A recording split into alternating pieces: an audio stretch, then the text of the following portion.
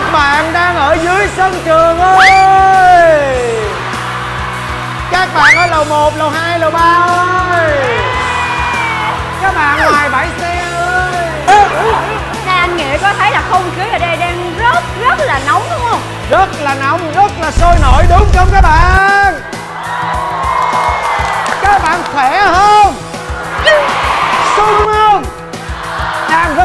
đang rất khỏe. Vỗ tay một tràng vỗ tay. Cuồng nhiệt cho tất cả chúng ta.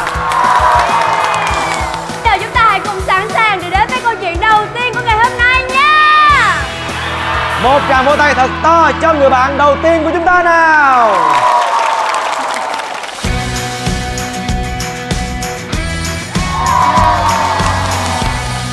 Wow Rất là khôi ngô tướng tú. Dạ. Xin chào chương trình Thiếu Niên Nói Em là Đoàn Gia Hưng, học sinh lớp 8A1 của trường trung học cơ sở Trần Văn Ơn. Các bạn học sinh lớp 8 1 đâu? Trời ơi đông quá. Như hưng thấy đó các bạn bên dưới đang cổ vũ cho mình rất là nhiệt tình. Và anh thấy hình như là có một cô giáo đang đứng bên dưới để chờ lắng nghe câu chuyện của em nữa. Vậy thì ngày hôm nay câu chuyện muốn chia sẻ với mọi người là câu chuyện gì? Em sẽ kể cho mọi người nghe câu chuyện về áp lực của một học sinh giỏi. Wow bình thường chúng ta đi học, chúng ta sẽ áp lực cái việc là mình không được học sinh giỏi. Nhưng ngày hôm nay, chúng ta nghe câu chuyện của một học sinh giỏi, xem coi bạn ấy gặp áp lực như thế nào nha. Một tràng vỗ tay dành cho hưng với câu chuyện của mình. Mời em. Em sinh ra trong một gia đình ờ, không hoàn thiện như bao gia đình khác. Ba em mất khi em ờ, lớp 5 Cho nên kể từ đó thì em quyết tâm thay đổi bản thân, từ một học sinh ờ, học rất là bình thường trở thành một học sinh giỏi. Bản thân em thì ờ, có một xíu năng khiếu từ nhỏ cho nên là ờ, việc tiếp thu rất nhanh nhưng mà cũng phải học thêm rất nhiều. Sau đó về nhà làm bài tập tới tận tối khuya. Đó cũng là lý do mà em bước được đến đỉnh vinh quang như ngày hôm nay. Mọi người thường nghĩ là đứng trên đỉnh vinh quang như vậy thì nó sẽ rất là sung sướng uh, sẽ cảm giác rất là tự hào nhưng mà đối với em nó không hề sướng một tí nào. Tại vì khi bước được trên đó em luôn đặt thêm cho mình những áp lực mới tiếp tục phấn đấu tiếp tục vươn lên và phải luôn giữ được vị trí đó. Cũng vì sự áp lực đó cũng vì thành tích uh, học sinh giỏi nhất khối mà em đã thực sự đánh mất tuổi thanh xuân của mình. Thay vì những thời gian vui chơi cùng bạn bè, thì em dành thời gian đó cho việc học tập của mình. Một lần, thực sự em quá mệt mỏi, quá áp lực với những con điểm số, và cho nên là em quyết định là không học bài đêm đó. Con xin lỗi cô tú, vì hôm đó con đã không học bài môn của cô. Sau hôm đó thì con kiểm tra, con được 6 điểm. À, con biết là con 6 điểm đó làm cô cũng như là cô Hương giáo viên chủ nhiệm của lớp rất là thất vọng. Và cũng vì con 6 điểm đó mà con nhận được rất nhiều lời ra tiếng vào của mọi người. Những bình phẩm ví dụ như là à, thằng này là lớp trưởng mà sao nó được có 6 điểm? Hay là thằng này học sinh giỏi nhất khối mà sao điểm tiếng Anh biết nhè như vậy? Thì thật sự những cái bình luận đó đôi khi làm con muốn gục ngã. Con luôn tự nhủ với bản thân là con đã cố gắng hết sức nhưng mà dường như cố gắng của con nó vẫn còn quá bé để tiếp tục giữ vững ngôi vương như vậy. Và hôm nay đến với chương trình Thiếu Niên Nói Con mang theo cho mình một ước mơ Con ước một ngày. Chúng ta sẽ không dùng điểm số để đánh giá một bạn học sinh nữa. Vì theo con, điểm số sẽ không quyết định được tất cả Và sẽ không quyết định được thành bại trong tương lai của một người. Và nó còn dựa vào rất nhiều yếu tố khác Như kỹ năng mềm, hay những kỹ năng giao tiếp.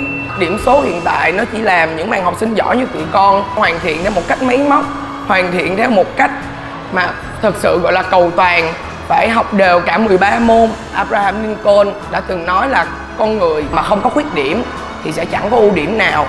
Bởi vậy những bạn học sinh giỏi như tụi con nếu cứ đâm đầu vào những con điểm đó thì sẽ không bao giờ tìm được chính bản thân không bao giờ tìm được sở thích và ước mơ của bản thân mình. Và từ đó à, tụi con sẽ tự đánh mất những ai của bản thân. Và con xin cảm ơn vừa rồi chúng ta đã lắng nghe câu chuyện của bạn hưng áp lực của một học sinh giỏi. Vậy thì bây giờ em muốn lắng nghe ý kiến của ai? Mời bạn thân của em đó là Quang Huy nó học cũng rất là giỏi và em nghĩ là nó sẽ hiểu được em rất là nhiều. Đây. Theo em là áp lực điểm số có thể là đến từ một phần là do bản thân mình hoặc là một phần là do giáo viên. Tại vì bản thân mình muốn là học sinh giỏi nên là đặt lên người mình rất là nhiều áp lực. Phải được hạng nhất rồi ờ, phải 9.5 10 điểm cái kiểu. Vậy còn với huy thì sao? Ờ, em có bị áp lực khi mình cũng là một học sinh giỏi hay không? Ừ, dạ có. Khi mà chạy deadline nhiều quá thì nếu mà nhiều người cứ hỏi là ơi mày làm xong chưa? các kiểu thì em sẽ bị áp lực rất nhiều. Ừ. Dạ. và khi mà gặp những áp lực như vậy đó huy đã phải vượt qua cái áp lực đó như thế nào? Và tự trấn an bản thân xong rồi ngủ.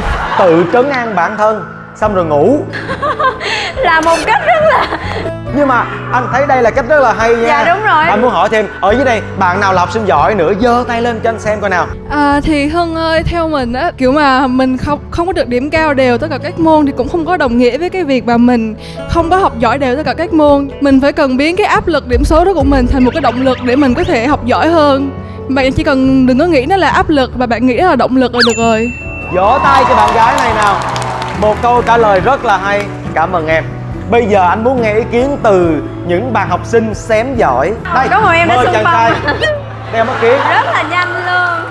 Em là một học sinh khá là hiếu thắng về tất cả mọi mặt đi Đặc biệt là về điểm số. Từ đó em luôn tạo ra cho mình nhiều áp lực khác nhau Và đôi lúc em cảm thấy ờ, khá là mệt mỏi và muốn gục ngã trên cái áp lực đó.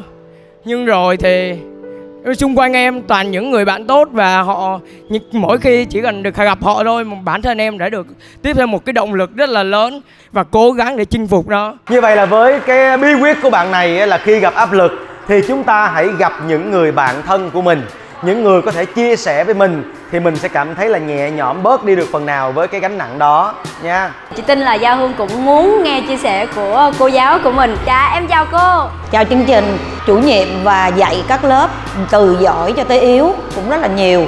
Và bản thân là một giáo viên thì tôi chưa bao giờ mà tạo cái áp lực cho các học sinh của mình. Và cũng luôn luôn nhắc các con rằng là các con không nên tự tạo áp lực vì khi đó các con sẽ càng ngày càng học xa suốt hơn à, nếu như các con cứ thoải mái trong việc học tập thì các con sẽ đạt được điểm tốt hơn. Và gia hưng ơi điểm số cũng giống như con nói không đánh giá được là sự thành công của một người học sinh hay là một con người mà thành công là ở phía trước của tụi con. Khi tụi con lớn lên tụi con sẽ làm được những gì. Mong con là hãy thoải mái chúc con luôn thành công. Hưng phải hiểu rõ mình đang cần cái gì. đâu là con đường mình chọn Em cần cái sự cổ vũ tán dương của mọi người khi em đứng ở vị trí ngôi vương Hay em cần em học cho bản thân em Để có một hành trang trong tương lai của mình Đúng không nào? Em hiểu rõ vấn đề chưa? Dạ. Em còn điều gì muốn chia sẻ với mọi người không nào? Em xin cảm ơn chương trình Thiếu Niên Nói đã tạo cho em cơ hội để đứng à, bày tỏ câu chuyện của mình à, ngày hôm nay. À, cảm ơn anh Nghĩa, cảm ơn chị Dân đã lắng nghe câu chuyện của em. Rồi cảm ơn giao hương rất Mong là rằng nhiều. sẽ luôn luôn giữ vững tinh thần Không bị áp lực để học tập thật tốt Hưng nha. Rồi chào tạm biệt em